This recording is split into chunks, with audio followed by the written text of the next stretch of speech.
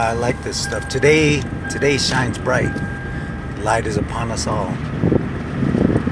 So, you know, I hear a lot of this irresponsible, responsible stuff. I, I'm unable to understand that and what people are judging and pertaining to. But you do have a responsibility to express the freedom of your rights. And some judge or some some pre I read said that the governors and mayors have no power over what you can do. So, and I've read some other stuff that the mask actually causes a worse issue, stated by a U.S. official.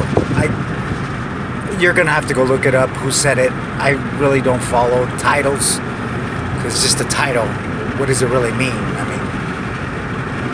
mean, we are who we are, and it's your uh, choice to do what you think is within your freedom of your rights. Uh, we're all searching. People are searching for uh, financial freedom, health, wealth. Um, the health of my children, I have it. I know the secret. And I feel 100% comfortable with me being responsible towards my family being healthy and making sure that they're well taken care of. But also the value of hard work. And I make sure my, my sons see that.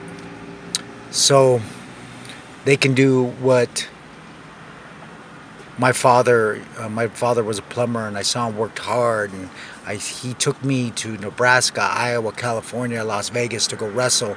He would put a bunch of uh, wrestlers in back of a camper and drive to wherever so we could go compete. This is back in the 70s.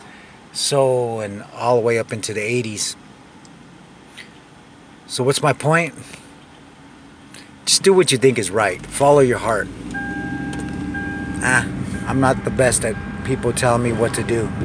But I'm going to do what I think is right. And right now, I'm doing it.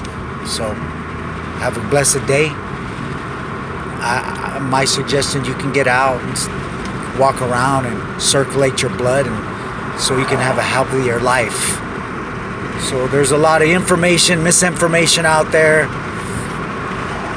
Read. Look at what's up. Read. Research. Do it on your own. If you don't believe someone, then find out what they're talking about. See if the science is behind it. You have that opportunity and you have, uh, as an American citizen, that's your free will to express it any way you can. So just time to, well, I'm a man, so I say man up. I say it's time to person up. And I talk to my children like this, and they know what time it is. Love, peace, head grease.